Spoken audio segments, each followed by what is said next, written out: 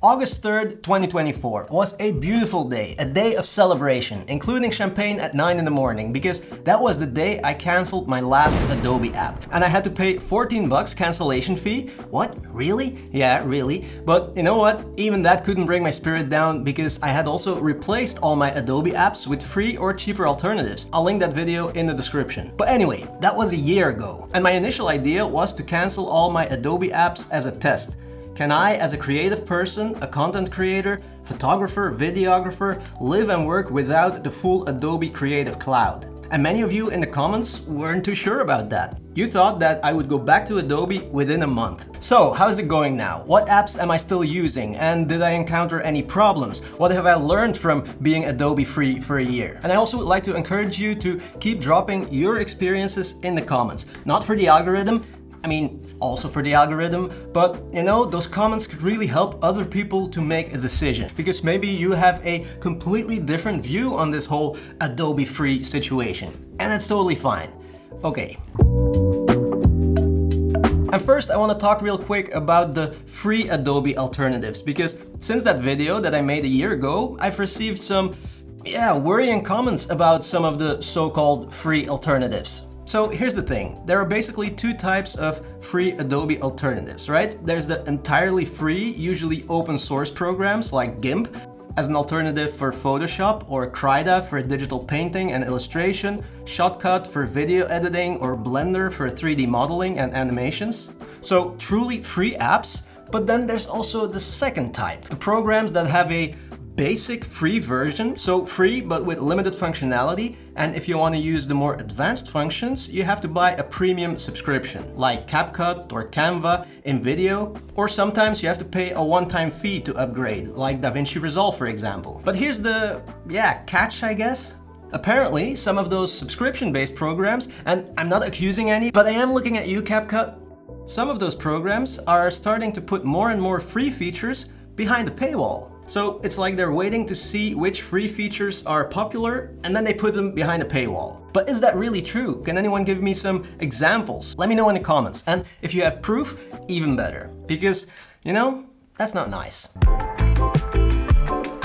Okay, and then now, how difficult is it to switch from an Adobe program to something else? And let's start with photo editing. Let's start with Photoshop, because that's the most famous Adobe program, I guess, right? Okay, look, this is my experience and I have to emphasize that this is my experience because maybe for you it's different. But for me, switching from Photoshop to Affinity Photo, what I'm using now, was mostly like it required mental effort. Because look, Affinity Photo's interface, it looks very similar to Photoshop, right? But some of the tools are not in the same place and the menus also look a bit different. Also some features just work differently. So you have to reprogram your muscle memory basically. But a lot of the important features that I use 99% of the time, the basic features, the important ones, they work almost exactly the same. Editing raw photos, for example, or layers and how you can add adjustment layers, the clone tool, the pen tool, it's all there. You just have to use them a lot in the beginning to get used to the little differences and maybe the, you know, the locations that are different. So I haven't really missed anything. But that being said, I have to say some features are very different. You have to relearn them entirely. Some features are also not very intuitive, things that have to do with perspective for example, but eventually, I mean, it works. And then also, if you're used to a lot of the Adobe AI features and you use them all the time, Affinity Photo is not for you yet. Maybe Luminar Neo is a better choice for you, but Affinity Photo doesn't really have AI features. So it's not like you can just cancel Photoshop and then start using any Photoshop alternative out there. You really have to do some research to find the right one for you because there's a lot of differences. So download trial versions. But yeah, all in all, I'm still super happy with Affinity Photo. It works for me. Not perfect, definitely not, but it works. And then also, I've actually also been editing a lot of my photos in DaVinci Resolve. Well, color grading mostly, because Resolve supports RAW files and the color grading is great. But I'll drop a separate video on editing raw photos in DaVinci Resolve soon. Okay, and then there's video editing. And I'm gonna start by saying, again, that I love DaVinci Resolve, okay? Like, my channel is built on it, it has the most powerful free version in the world also, no doubt about it. So if you want free and super professional, go for DaVinci Resolve. But here's the thing, the basic principles and workflows of video editing are well, they're the same in every program, right? You have an audio track, a video track, you cut, you trim, uh, you add some titles. It's the same in every program. Premiere Pro, CapCut, Final Cut Pro, iMovie, the basic video editing workflow is the same everywhere. But then other features might be more difficult to learn and it's usually the more advanced features because sometimes the workflow is indeed completely different. For example, the node structure for color grading in DaVinci Resolve is something that a lot of newcomers struggle with because it's so different compared to Premiere Pro. Also Fusion for animations and visual effects, which is also node-based, has a steep learning curve if you're coming from After Effects. But it's not impossible to make the switch. But from what I've read in the comments in the past year, After Effects is the real problem child, or is the, the most difficult one to replace. Maybe Fusion is the problem child for, yeah, whatever. But I get it. Fusion in DaVinci Resolve, which I still think is the only real candidate as a robust replacement for After Effects, is not easy. It's not easy to learn because it's so different if you're used to After Effects. And the smaller video editors like CapCut or InVideo or Canva are somewhat limited when it comes to effects and things like that. They focus more on being easy to use and user-friendly, you know, but not so much on giving all control to the user. So I really think that the more advanced you are in Premiere Pro or After Effects, the more difficult it is to make the switch because you'll have to relearn a lot more. Relearn, is that a word actually? I don't know. Doesn't matter. But anyway, all that being said, I would like to know from all of you, or from the people who have used both DaVinci Resolve and Fusion and After Effects, what makes it so difficult to go from After Effects to DaVinci Resolve or Fusion? Because it's difficult for me to pinpoint the exact location of the problem. So is it the simple things like masking and text tracking, things like that? Or are we talking about more advanced stuff like advanced visual effects and 3D stuff? You know, like what you see in movies. Or maybe it's both. Maybe it's just, you know, the, the general workflow, that node system. So let me know in the comments because that really might help other people to make a decision.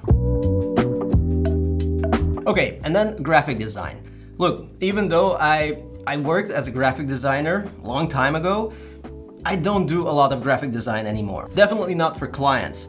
For myself, sure. And it's maybe like, you know, once every two months or something. And I've been using Affinity Designer, tried a few different ones, but Affinity Designer just works for me. It looks a lot like Illustrator, and I bought all three Affinity programs together, so I mean, yeah, that's all I can say about it. It works for me, but I'm not an expert, so there you go.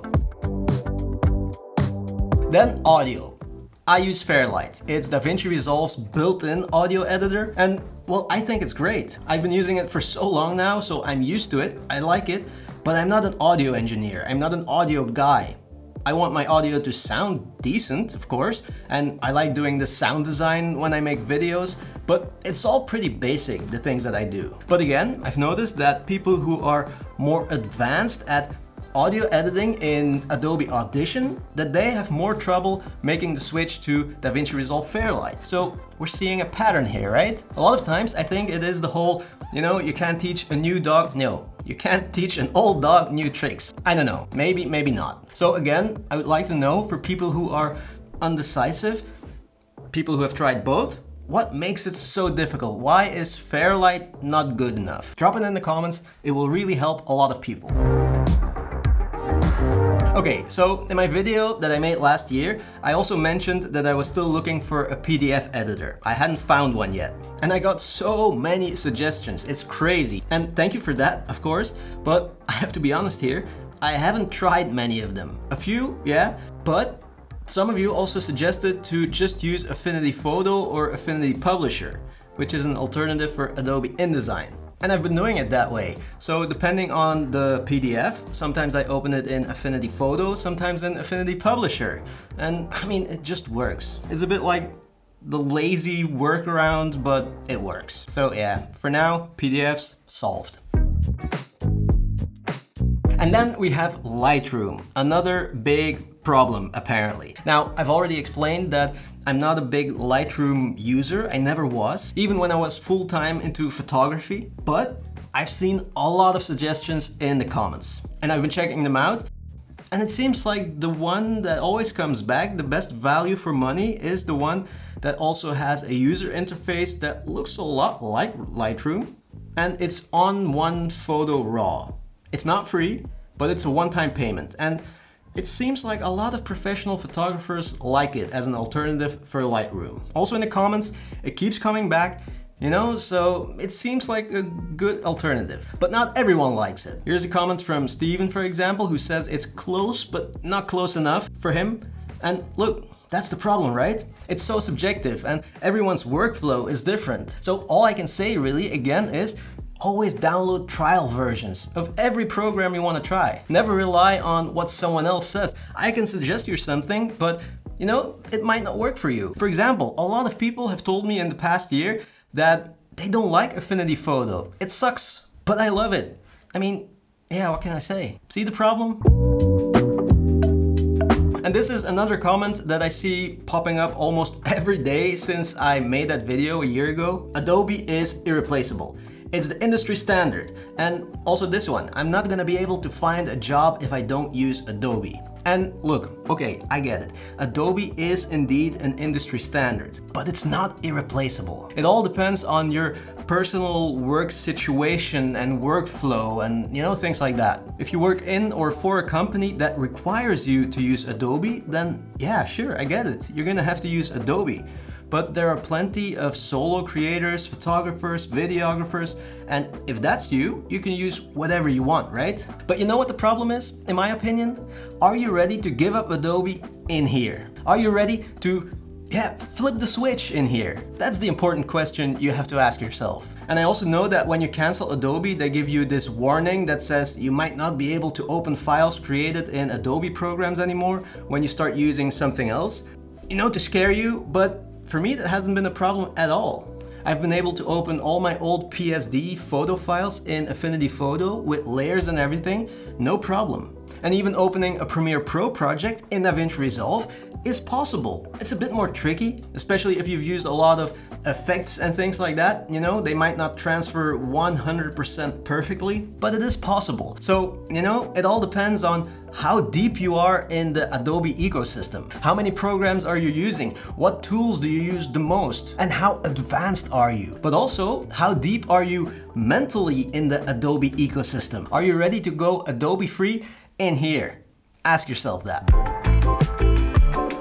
And so, yeah, I'm still Adobe free and I like it, but you know, I don't think that Adobe programs are bad at all. It's just that you know, if you're like me, and for photo editing, for example, you use only the most basic features, then it just feels annoying that you have to pay month after month for updates that, you know, that you don't use. When it comes to photo editing, I still use the same features I was using 10 years ago. But that's me, of course, and that's the problem. It's different for everyone. But I like the system where, you know, for creative programs, I pay a one-time fee for a set of features and then if they do in a year or two years or three years, they decide to do a big update, they can ask me for an update fee.